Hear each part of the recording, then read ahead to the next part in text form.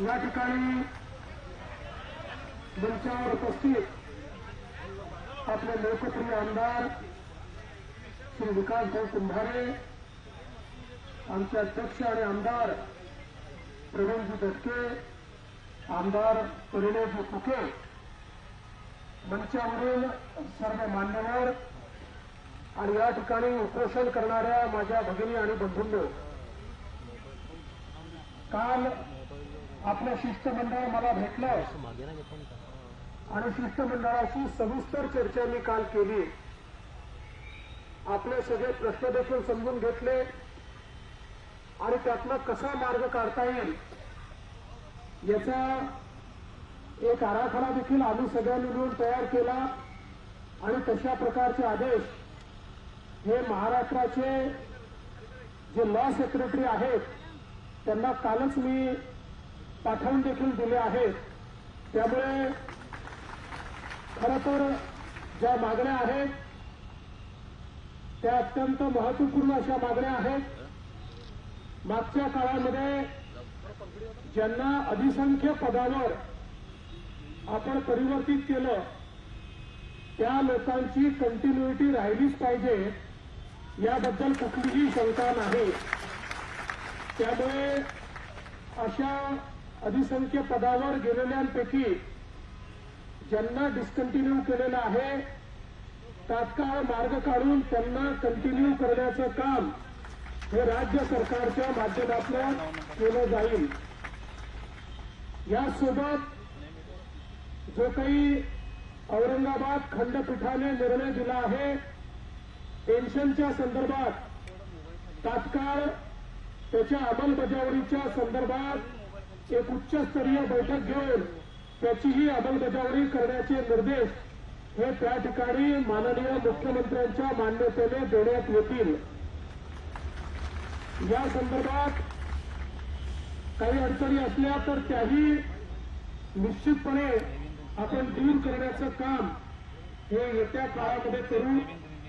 काल एक अजून अत्यंत महत्वाची गोष्ट आपल्या शिष्टमंडळाने माझ्या नजरेत आणून दिली आहे.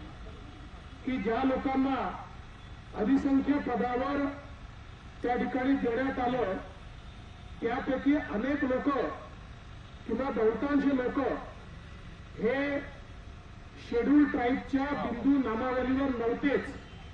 ते जर शेड्यूल ट्राईबच्या बिंदू नामावलीवर नव्हते तर मूळ त्यांना अधिसंख्य पदावर देऊन एसटीची जागा रिकामी होत नाही.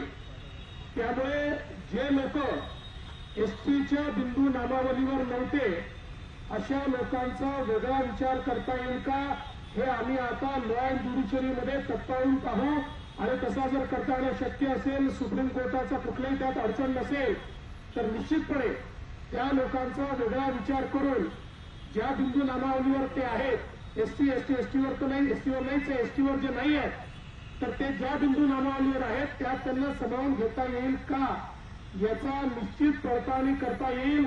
आणि ते जर शक्य झालं तर मोठा प्रश्न आपला त्या ठिकाणी सुटेल आणि आपले अनेक लोक हे या अडचणीतनं बाहेर येतील. मी या निमित्ताने आपल्याला हे आश्वस्त करण्याकरता आलो आहे की आपल्या डोक्यावरची जी टाळती तलवार आहे ती आम्हाला दूर करायची आहे. आणि त्या दृष्टीनं मी आणि मुख्यमंत्री एकनाथराव शिंदे आम्ही एकत्रित बसू आणि यातनं कसा मार्ग काढता येईल जेणेकरून कुठल्याही प्रकारचं लिटिगेशन देखील होणार नाही आणि आपल्या डोक्यावरची टाळती तलवार देखील दूर होईल. या सगळ्याच्या संदर्भात काल जे काही मुद्दे माझ्यासमोर आले आहेत त्या मुद्द्यांची तात्काळ पडताळणी देखील मी करतो आहे. आणि एक उच्चस्तरीय बैठक घेईन. त्या बैठकीमध्ये आपलेही प्रतिनिधी मी त्या ठिकाणी बोलवणार आहे. जेणेकरून लवकरात लवकर हा सगळा मार्ग निघाला पाहिजे. आणि म्हणून सरकारची सकारात्मकता आपण बघा.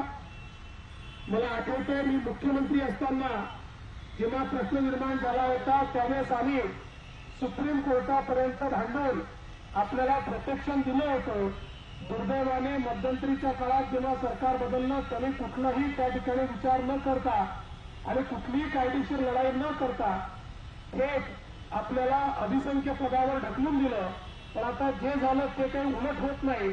पण त्यातनं नीट मार्ग काढून आपल्याला प्रोटेक्शन कसं देता येईल याचा प्रयत्न आपल्याला करावा लागेल.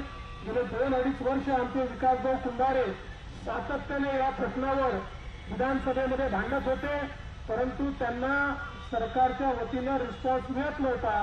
तर विकासभाऊ आता काळजी करायचं कारण नाही आहे मी आहे मुख्यमंत्री आहे. आम्ही सगळे तुम्हाला रिस्पॉन्स देणारे लोक आहोत कारण तुम्ही आमचे लोक आहात. त्यामुळे तुमच्या या समस्या सोडवण्याचं काम हे आम्ही निश्चितपणे करू. आणि म्हणून मी आपल्याला विनंती करतो आता नवीन सरकार आलंय नव्याने तुमच्या समस्या सोडवायला तयार आहे त्याच्याकडे लक्ष द्यायला तयार आहे. आणि म्हणून आपण सगळ्यांनी हे उपोषण करत घ्यावं.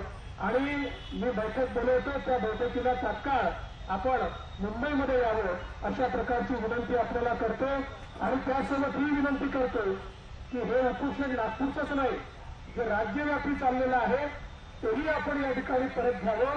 सगळ्यांना विनंती करावी की मुख्यमंत्री एकनाथ शिंदेजी आणि उपमुख्यमंत्री देवेंद्र फडणवीस दोघेही सकारात्मक असल्यामुळे आपलं उपोषण आपण परत घेऊ आणि यातनं निश्चितपणे मार्ग काढू एवढीच आपल्याला विनंती करतो आणि माझं बोलणं संपवतो धन्यवाद. छत्रपतींचा विचार. म्हणजे